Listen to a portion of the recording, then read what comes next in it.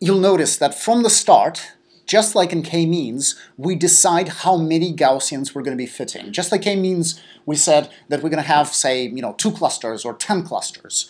Uh, here you need to do the same thing. Um, and in many cases, you might want to sort of discover, well, how many Gaussians are enough? How many should I be using? Should I be using 10? Should I be using 1,000? What's the right number for my data set? Um, and the answer here is not much more clear than for k-means. Uh, you have slightly different methods, slightly more powerful methods, and that uh, and, and that's because um, Gaussian mixtures and EM in general, uh, it's a probabilistic model, so you have a better defined objective function. So um, when, when you're fitting a mixture model, what you're trying to do is you're trying to maximize the likelihood or the log, likelihood of your data under the assumption that it's generated from a mixture model. So you have a mixture of uh, k components and uh, what you're doing is you're effectively measuring what's the probability that each instance xi came from the kth component multiplied by the prior for that component, add it all up, so that's the total probability for xi, and then add or multiply them together or add their logs over all the instances that you have. So that's a log likelihood of the data, assuming that it came from those Gaussians. So uh, now what you could try to do is you could try to say, well, um, I want to maximize the likelihood. I want to make this likelihood as large as it can possibly get, because that indicates if the likelihood is large, this means that my model, my mixture of Gaussians, fits the data well. So um, you could try to use that directly uh, to maximize k, basically run it with different values of k and then see which one gives you the best result.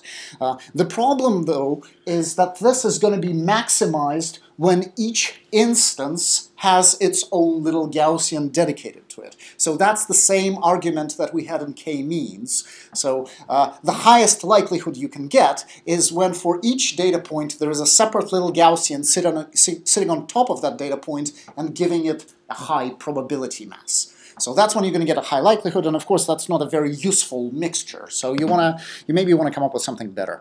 Um, you could try to use a training set and a validation set. So this would measure how well does this mixture generalize to new data that I'm going to see tomorrow. And uh, in some domains this will work, but for many other domains, uh, you're still going to get best result when k, the number of components in the mixture, is very, very large. So maybe uh, maybe n, which is the number of training instances, instances in your training set. So if you use this directly, you're still going to end up with a Gau with a mixture model that has lots and lots of Gaussians, many more than you would like to have.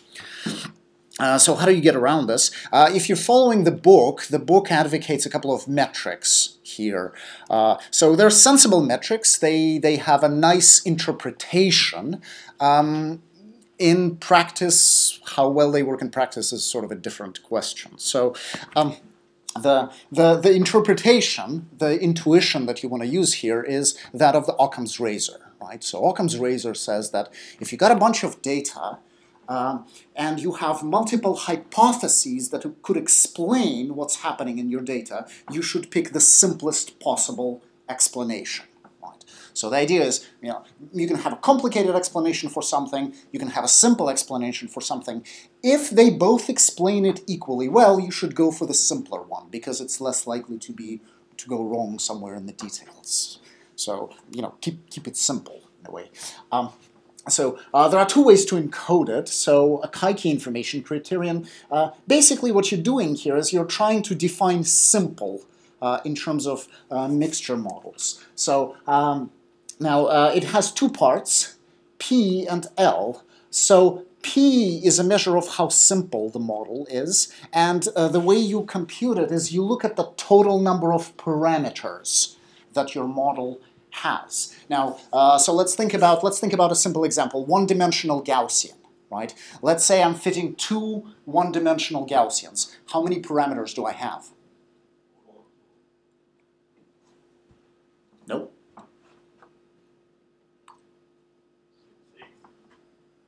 So four, six.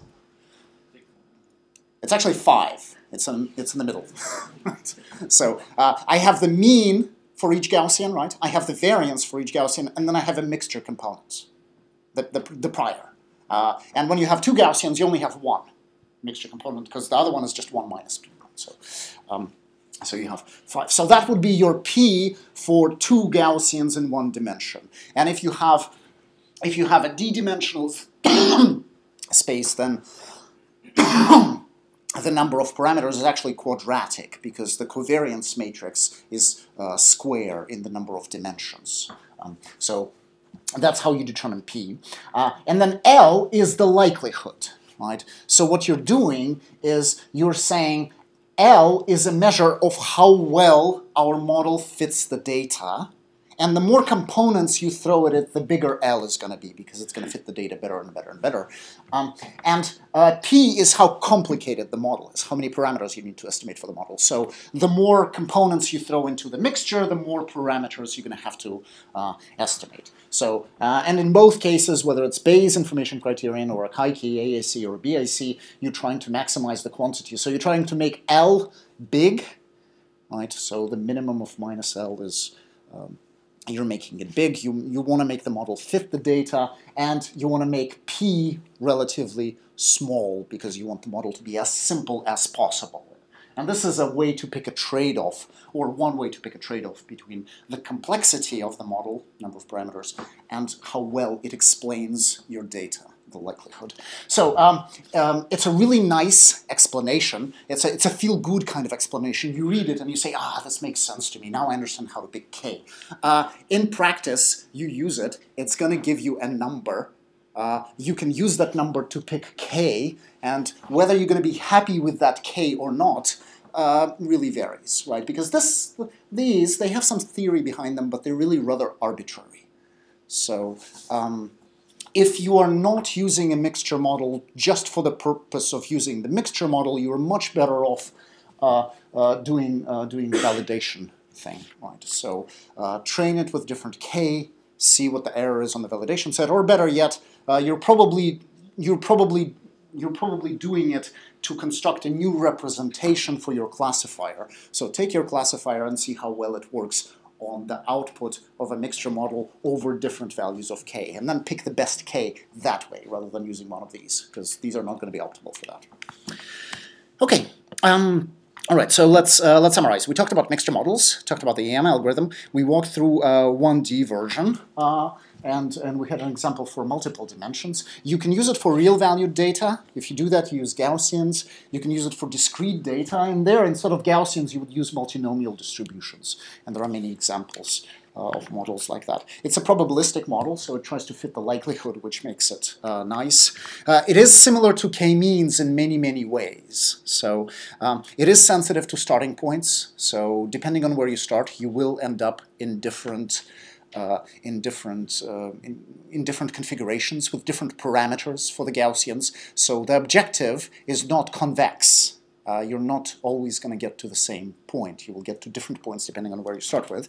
Um, Uh, there is no natural stopping point. In k-means, you stop when the points don't change places. Here, there is no hard assignment of points to Gaussians, so uh, what you have to do is you have to basically put a threshold. And once the probabilities, once none of the probabilities change more than by a certain amount, then you decide to stop. Or if you have a big data set, you just run it for five iterations or however much, uh, however much you have time for.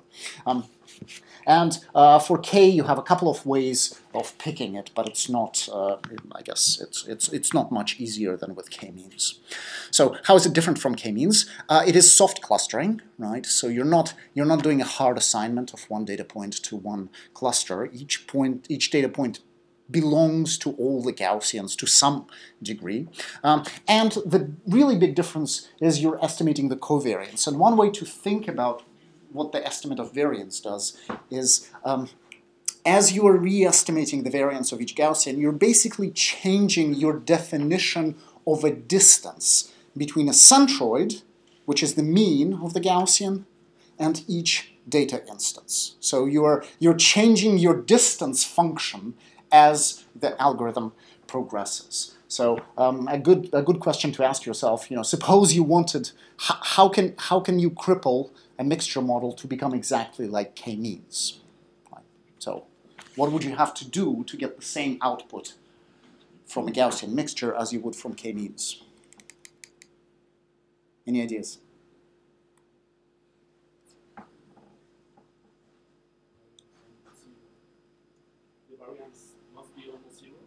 The variance must be uh, almost zero. Um, so that's interesting. Uh, not sure that would do it by itself. But what would do it is if you just didn't recompute the variance. If you pegged the variance to 1 for everything, and you pegged the priors to be uniform, then the output of a Gaussian mixture model is going to be identical to the output of the k-means clustering algorithm.